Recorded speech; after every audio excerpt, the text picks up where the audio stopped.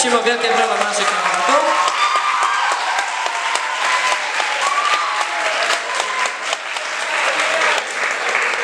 Kandydaci zebrali odpowiednią ilość podpisów, 100 podpisów uczniów i 10 nauczycieli. No to myślę, że bez zbędnego przedłużania możemy zaczynać. Yy, może usiądźmy na początek i zacznijmy od Dominiki. Masz minutę na przedstawienie się. E, Nazywam się Dominika Biadasz, chodzę do klasy pierwszej D, czyli Mat Plus. Może widzieliście po, krążące po szkole karteczki z napisem Kozar. Więc jest to pewien skrótowiec. Każda literka coś oznacza. K, czyli kreatywna. O, odpowiedzialna i obowiązkowa. Z, zorganizowana, a A, ambitna. I taka właśnie jestem ja i chcę, żeby taki był nasz przyszły samorząd. Dziękuję.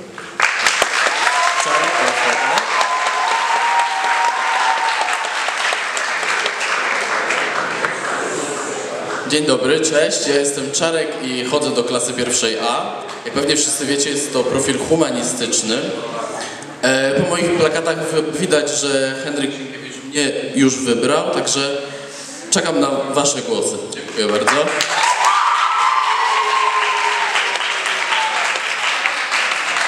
Dobrze, to teraz kandydaci będą mieli po 5 minut na przedstawienie swojego programu wyborczego. Zacznijmy może od Czarka tym razem.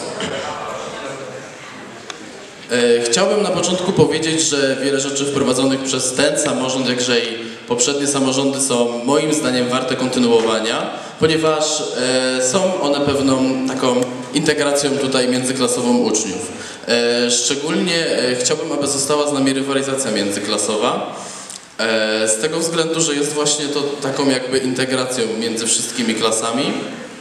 Oczywiście będzie ona działała na takiej samej zasadzie, tylko że e, ze zmienionymi pomysłami e, moimi i mojego przyszłego samorządu.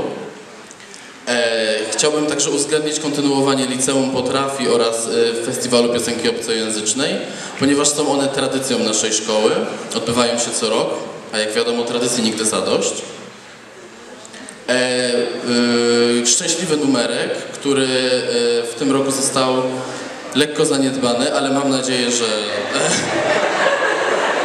że, za, e, że za mojej kandydatury będą, będzie on prowadzony w miarę systematycznie. Oczywiście zostanie z nami także szkolna telewizja, przy której oczywiście wiem, że jest sporo pracy, ale mam nadzieję, że wydzielając do tego osobną ekipę wszystko będzie działało systematycznie. Oczywiście turnieje sportowe, e, które są w naszej szkole będą kontynuowane. Powstanie rozpiska wszystkich zajęć dodatkowych, aby każdy, zna, e, każdy tutaj z uczniów mógł z nich korzystać. Oraz e, chciałbym wprowadzić takie coś jak art party, które będzie polegało na e, jakby wernisażu pewnych prac uczniów połączonych z taką imprezą okolicznościową. Dziękuję bardzo. Dominika, teraz proszę twoje 5 minut. Oczywiście wszystkie tradycje ELO będą kontynuowane. ELO potrafi, szkolna telewizja, szczęśliwy numerek, ranking klas i miała być muzyka na przerwach, no ale podobno to jest już wykluczone. E, e, Pomyślałam nad tygodniami e, tematycznymi, czyli na przykład tydzień trzecioklasisty, gdzie na szkolnych korytarzach pojawiałyby się prace, czy to literackie, czy plastyczne, może fotografie właśnie- uczniów klas trzecich, także drugich, także pierwszych. E, Myślałam o tygodniu sportu, y, gdzie w czasie tygodnia byłyby może zdrowotne lekcje na temat zdrowia, a taki tydzień uwieńczyłby Dzień Sportu, gdzie klasy rywalizowałyby między sobą, może w luźniejszych konkurencjach jak przeciąganie liny. Myślę, że to umocniłoby ich więzi. E, Myślałam o wycieczkach na imprezy szkolne, mm, oczywiście poza godzinami nauki, e, jak na przykład żurze, e, skrzynka na inicjatywy uczniowskie, gdyby ktoś jednak bał się do mnie podejść i przekazać jakiś swój pomysł, mógłby wyrwać kartkę z zeszytu, po prostu napisać i wrzucić ją do tej skrzynki. Oczywiście będą kontynuowane sportowe zawody międzyklasowe. Myślałam, myślałam też o rozszerzeniu ich o inne dyscypliny. Yy, I inicjatywy międzyszkolne. Jeśli obie strony wyraziłyby taką chęć, można by zorganizować na przykład y, noc filmową. I chciałabym postawić na lepszą komunikację samorządu uczniowskiego z uczniami. Myślałam o komunikacji twarzą w twarz, czyli częste spotkania samorządu, na którym wszystkie ważne informacje byłyby przekazywane. Dziękuję.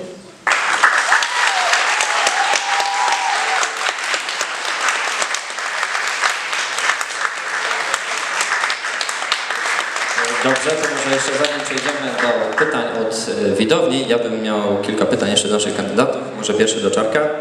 E, Wspomniałeś o szkolnej telewizji. Jak często planujecie wypuszczać, e, załóżmy, jakieś odcinki, bądź e, może coś nowego chciałbyś tam wprowadzić? Szczerze mówiąc o jakichś takich zbytnich nowościach nie myślałem, ale sądzę, że ten comiesięczny dziennik, chciałbym, żeby on był kontynuowany. Nie, nie jestem teraz w stanie odpowiedzieć, czy bylibyśmy w stanie ogólnie prowadzić go co miesiąc, ale może możemy zmienić nazwę na co dwumiesięczny dziennik albo co trzy miesięczny. Albo kwartalny właśnie.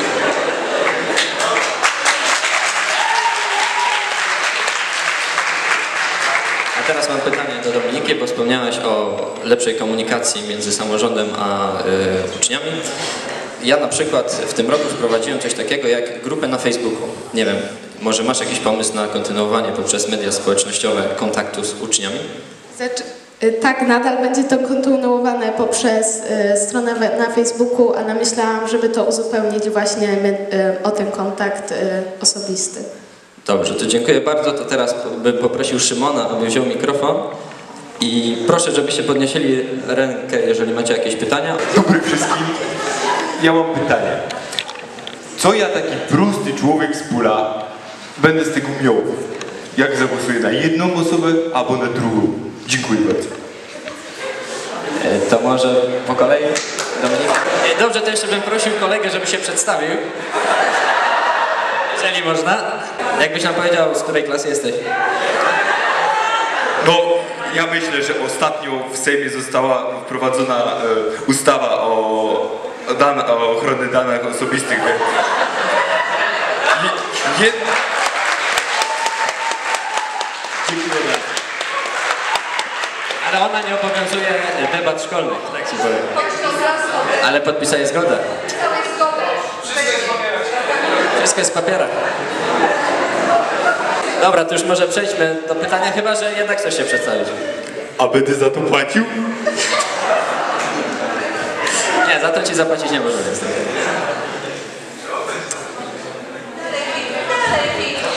Dobra, no Filip już się możesz przedstawić. Dobra, to Filip Wagner, pierwsza D. Dziękuję bardzo. Dobra, dziękujemy bardzo. To teraz czas na odpowiedź.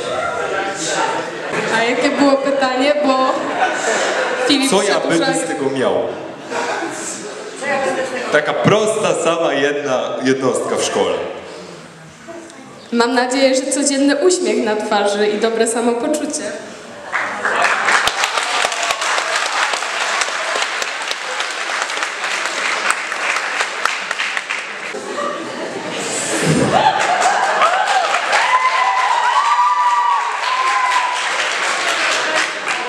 Będziesz miał e, sporo rzeczy, ale nie jestem w stanie ich teraz powiedzieć.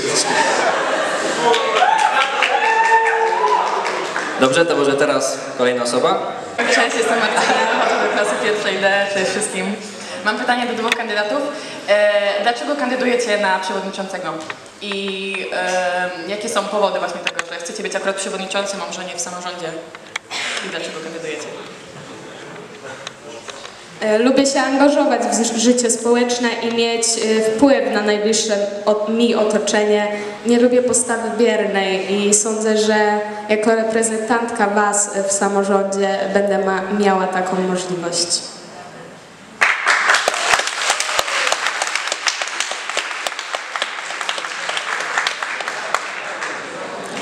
Szczerze mówiąc, e, przed e, zgłoszeniem swojej kandydatury musiałem to co najmniej 10 razy przemyśleć, czy postępuję dobrze, czy też nie.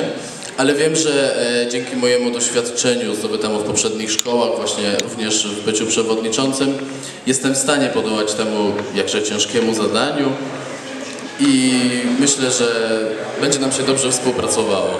Dziękuję.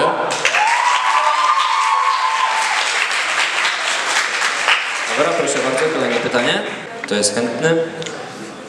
Tutaj z przodu widzę.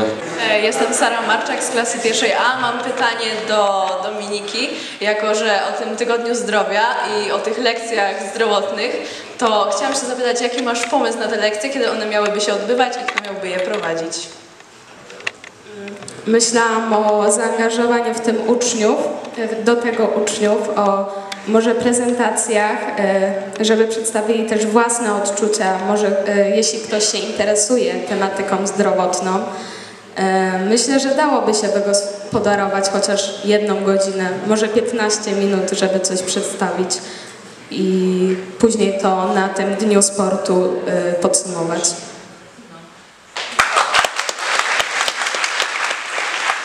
Dobrze, kolejne pytanie. Co macie zamiar zrobić z papierem w toaletach? A może się jeszcze przedstawi? Robaszkiewicz Kasper. Dodać go więcej.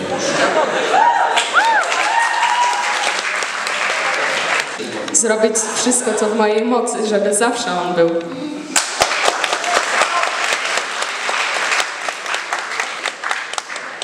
Dobrze, kolejne pytanie. E, Jestem Asia Hoffman z pierwszej C i czy jesteście na tyle odpowiedzialni, żeby tak duży ciężar e, na siebie wziąć, czyli e, dbanie o szkołę, o nas i o otoczenie ogólne, żebyśmy my dobrze się czuli? E, Mam już doświadczenie w prowadzeniu samorządu. W trzeciej klasie gimnazjum byłam przewodniczącą. Zdaję sobie sprawę, że może był to mniejszy obowiązek niż w szkole średniej, ale myślę, że umiejętności, które nabyłam w tamtym czasie, pozwolą mi się Wami opiekować y, w należyty sposób.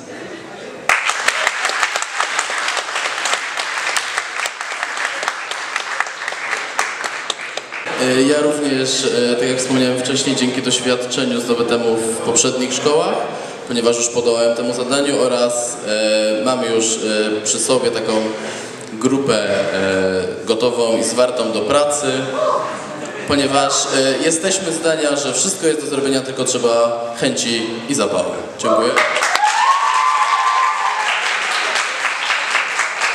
Dobrze, to teraz kolejna osoba.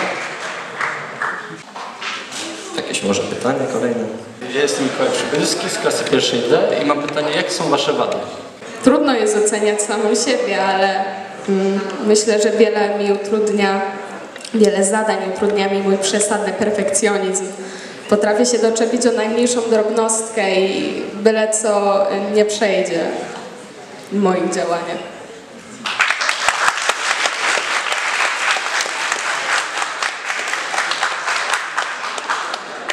Tak jak e, Dominika wspomniała, bardzo trudno jest siebie samego ocenić, ale uważam, że e, tutaj największą wadą, jakże i zarazem problemem jest to, że no, jestem osobą dojeżdżającą do szkoły i pewnie będzie ciężko, abym zawsze był na czas we wszystkim, e, we wszystkich takich uroczystościach i w spotkaniach i tak dalej. Ale mam do tego grupę, tak jak wcześniej wspomniałem, więc na pewno wszystko będzie ok.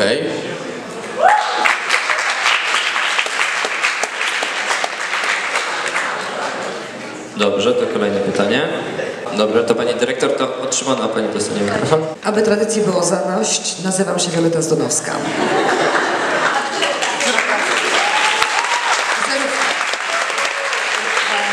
I mam pytanie do kandydatów do samorządu szkolnego. W jaki sposób wyobrażacie sobie współpracę ze mną?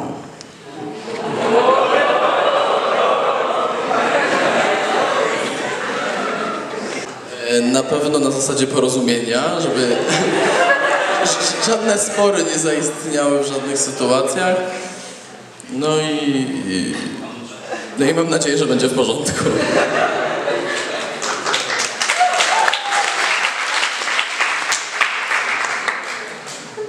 E, Tak jak Czarek wspomniał, najważniejsze jest porozumienie, więc mam nadzieję, że nasze stosunki będą jak najbardziej przyjazne.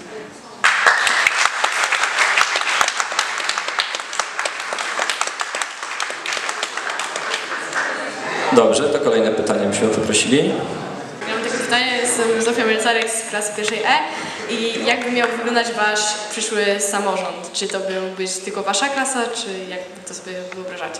E, no więc e, ja sobie o tym już pomyślałem i w moim przyszłym samorządzie znajdą się osoby nie tylko z mojej klasy, z tego względu, że e, będzie właśnie działała rywalizacja międzyklasowa i nie, chciał, żeby, nie chciałbym, żeby e, było na to, że e, tylko z mojej klasy będą miały e, najwięcej punktów, więc żeby to było wszystko fair, odbywało się i, i no.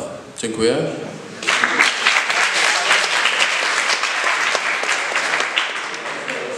Mój samorząd by był w pełni otwarty. Każdy, kto wyraziłby taką inicjatywę, mógłby się angażować w jego działania.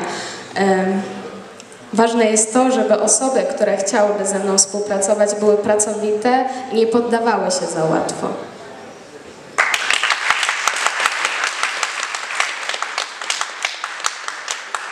Dobrze, a tam że jeszcze. Marta Szafrańska, klasa pierwsza D. Pytanie do Dominiki. Czy uważasz, e, że umysły ścisłe są lepsze od humanistów? I również to samo pytanie do Czarka.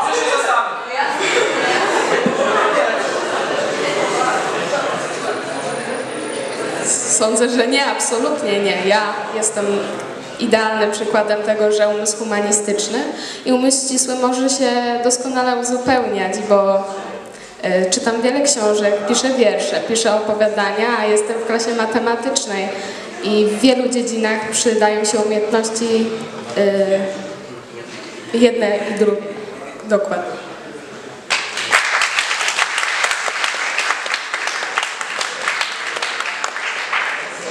Dzień dobry. Konrad z pierwszej, y, z drugiej.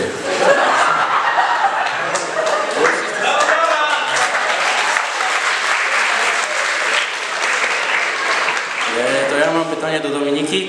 Uważasz się za dobrego lidera? Tak, uważam, że potrafię za- zarządzać grupą i mam pewien autorytet. Gratuluję.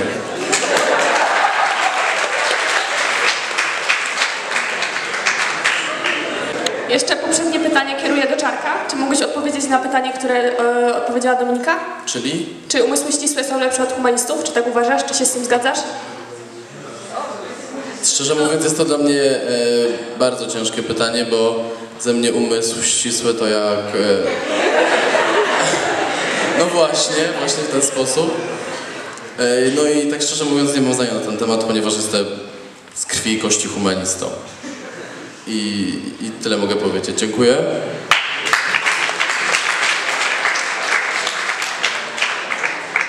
Dobrze, jeszcze ktoś by był chętny zadać pytanie? E, Nazywam się Kasia Przesiuda i chodzę do klasy pierwszej A i mam pytanie do Dominiki. E, Czy nie uważasz, że ten tematyczny tydzień, e, gdyby miał być co tydzień, nie byłby za dużym obowiązkiem?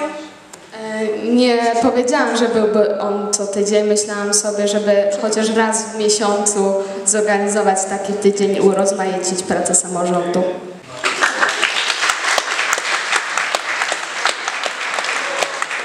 Adam Sławiński, pierwsza D. E, Pytanie do Czarka, co, z- jak, z jakimiś nowościami, czy planujesz coś wprowadzić w naszej szkole? E, tak jak już wspomniałem, chciałbym wprowadzić właśnie ten art party, czyli taki e, wernisaż e, prac uczniów uzdolnionych, bo wiem, że mamy sporo takich uczniów w naszej szkole, połączony z jakąś tematyczną imprezą do e, da- danego tematu wernisażu.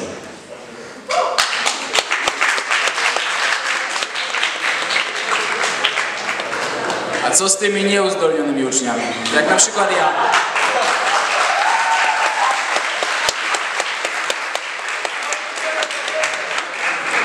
Uważam, że każdy w tej szkole ma jakieś zdolności, ponieważ się tutaj dostał.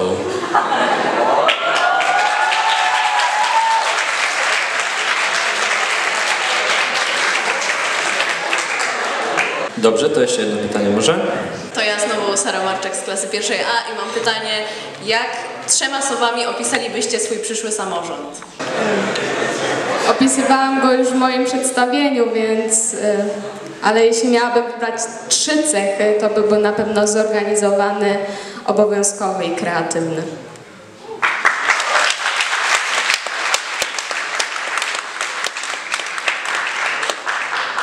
Kreatywność, współpraca i dobra zabawa.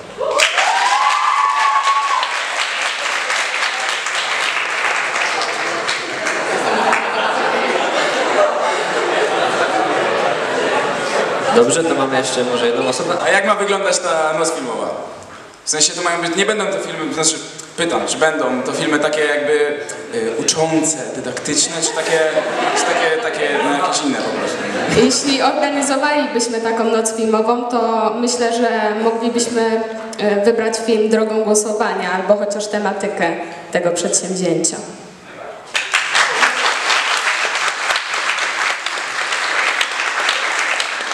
Pytanie do Was obojga, czy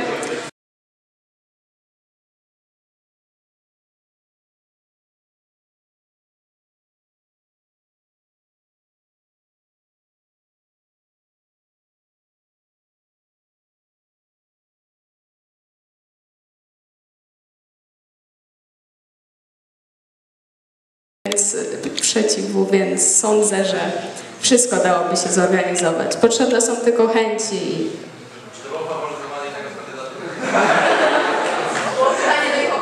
do ich obojga?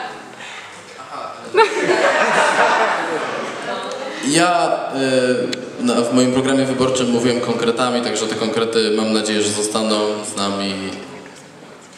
Dziękuję.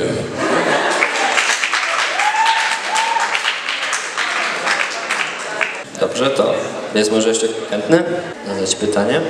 Niepowtarzalna okazja przepytać naszych kandydatów. Kolej Filip, jak też przede.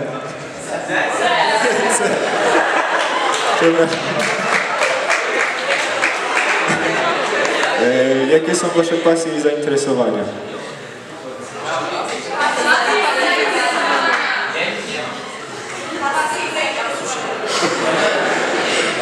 E, bardzo lubię czytać książki, lubię też oglądać filmy. e, aktywnie spędzać e, czas, czyli na przykład jeździć na rowerze. I chodzić oczywiście na e, różnego rodzaju imprezy. E, I, I to tyle bez moich zainteresowań. Dziękuję.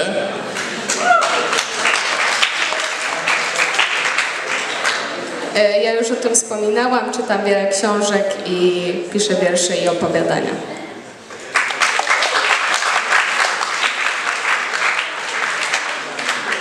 Tam widzę, mamy jedną osobę chętną z tyłu.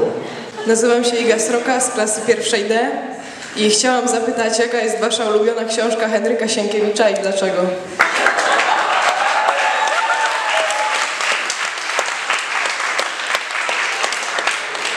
E, moją ulubioną książką jest e, W pustyni i w puszczy.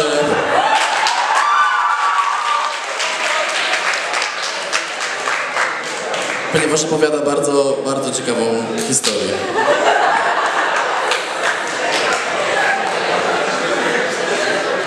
E, Myślę, że jest to nowela Sienkiewicza jako muzykant. E, Przemówiła do mnie bardzo samotność głównego bohatera.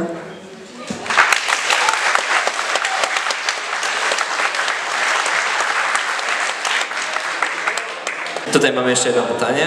Czy uważacie, że jesteście jakby w stanie zastąpić Jacusia? Czy możecie być od niego lepsi?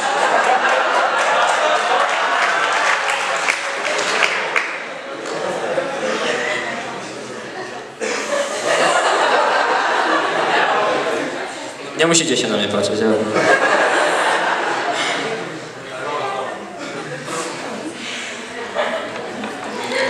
E, uważam, że będę tak samo dobry jak Jacek.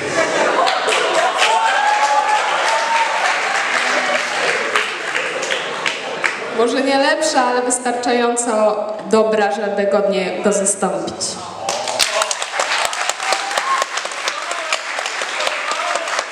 Dobrze, to może ja jeszcze mam pytanie. A, chyba, że Monika chciałaby zadać jeszcze jedno. Jestem Monika Zielińska z klas, klasy drugiej D e, i mam takie pytanie odnośnie tego, jak macie zamiar pogodzić obowiązki ucznia oraz obowiązki e, przewodniczącego szkoły, ponieważ jest to bardzo trudne. Jaki macie na to sposób?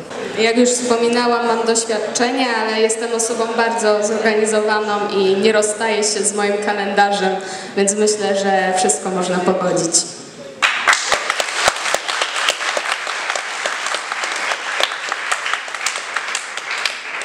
Ja również uważam się za bardzo zorganizowanego.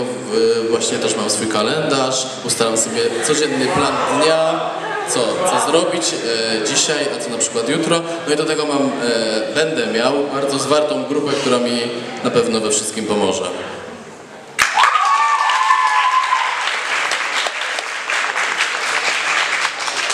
Dobrze, to teraz może przejdźmy do mojego pytania. Yy, wspomniałeś coś o liceum potrafi, dobrze pamiętam? Mówiłeś o liceum potrafi, tak? I teraz, czy masz może już jakiś konkretny pomysł, ewentualnie yy, osoby, które byłyby w stanie stworzyć fajne liceum potrafi? Nie myślałem nad tym aż w taki sposób konkretny, ale chciałbym, żeby to po prostu było kontynuowane, bo tak jak wspomniałem, jest to już jakby tradycją naszej szkoły. Dominika, co o liceum potrafi uważasz? E, Też również szczególnie o tym nie myślałam, ale mm, myślę, że znajdę ludzi, którzy będą w stanie pomóc mi to zorganizować i dorównać y, poziomowi poprzednich ELO potrafi.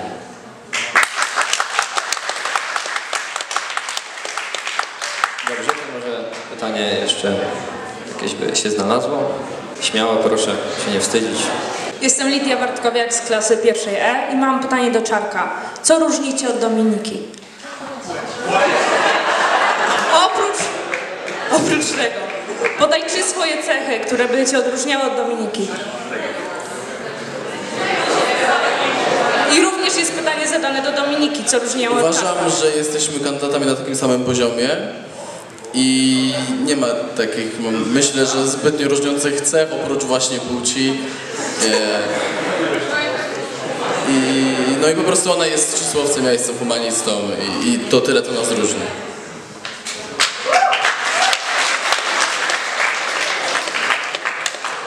Jestem takiego samego zdania jak Czarek i uważam, że jesteśmy oboje bardzo dobrymi kandyda- kandydatami na to stanowisko.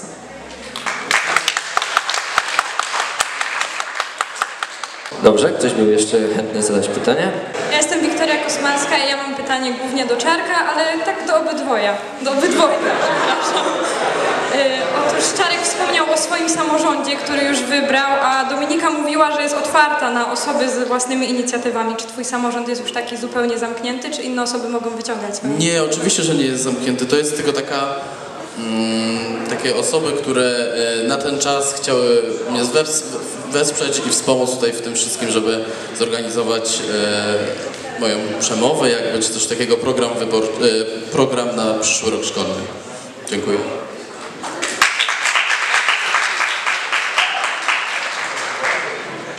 Czy jesteście w stanie obiecać, żeby mm, członkowie waszego zarządu y, były osoby z każdej klasy po kolei, czyli A, B, C i tak dalej?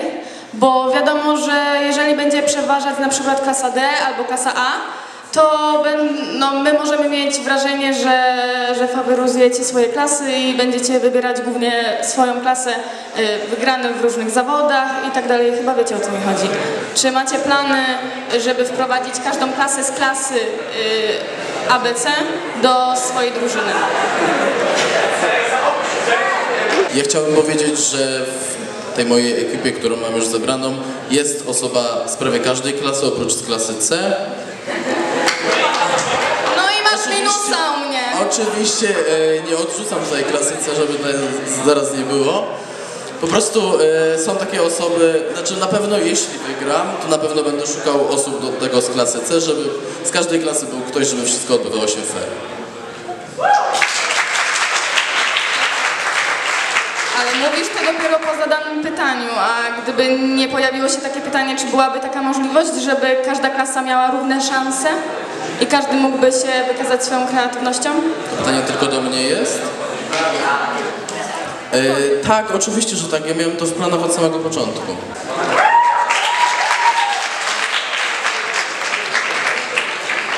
Ja już wspominałam, że mój samorząd jest otwarty, więc jeśli osoby z każdej klasy wyrażą chęć, żeby uczestniczyć w jego działaniach, to oczywiście wszystko będzie możliwe. Dobrze, teraz jeszcze możliwość zadać już ostatnie pytanie. O. Czy jeśli coś wam nie wyjdzie jakby, w sensie element waszych jakby planów? Czy macie jakieś takie plany B, jakby wam coś nie wyszło, żeby wynagrodzić to, czego nie zrealizowaliście? Moim zdaniem jest e, za wcześnie na takie myślenie o tym, czy mam plan B, czy mam plan C, albo nawet idę. E, Po prostu uważam, że takimi rzeczami jak e, zorganizowanie czegoś e, w razie jakby się nie udało, zostawiam na później, czyli po wyborach. Dziękuję. Raczej nie wzięłabym do swojego programu wyborczego inicjatyw, których nie mogę zorganizować, a jeśli takie coś by się zdarzyło, to wtedy będziemy myśleć i zrobimy wszystko, co w, e, co w naszej mocy, żeby to wynagrodzić uczniom i szkole.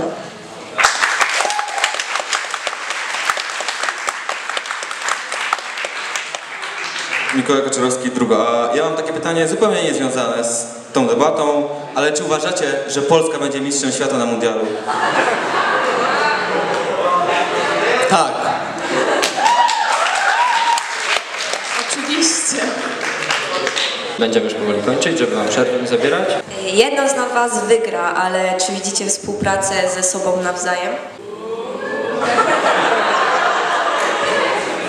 Wydaje mi się, że moglibyśmy połączyć siły. Nie ma chyba żadnego takiego sporu pomiędzy nami.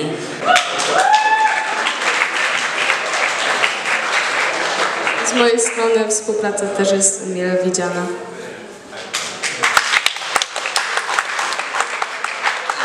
E, Dobrze, to teraz kandydaci mają okazję podsumować, e, powiedzieć coś na zakończenie po minucie. Proszę bardzo. Dominika, może zaczniemy od Ciebie. Może opowiem taką anegdotkę, historię, nie do końca wiem jak to nazwać.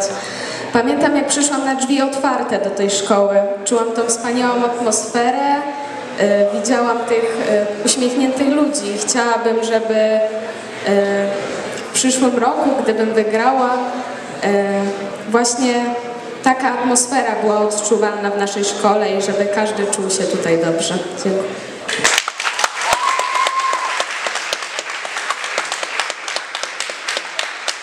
Chciałbym tylko dodać, że jestem zdania, że wszystko jest do zrealizowania, potrzeba tylko chęci i zapału, czego mnie i na pewno mojej ekipie nie zabraknie. Dziękuję bardzo. E, Dobrze, to jeszcze chwilę poczekajcie, powiem kilka e, tak informacyjnych spraw. E, W 4 czerwca, czyli w przyszły poniedziałek odbędą się wybory. E, Będzie można głosować, to jeszcze się dowiecie w jakich godzinach, ale prawdopodobnie przez prawie cały dzień. E, Więc tak, e, osoby, które będą jechały do Hiszpanii, niech się nie martwią, przekażemy tam e, opiekunkom wycieczki e, listę, żeby mogły przeprowadzić wybory najwyżej w autobusie. No i to by było na tyle. Dziękuję bardzo.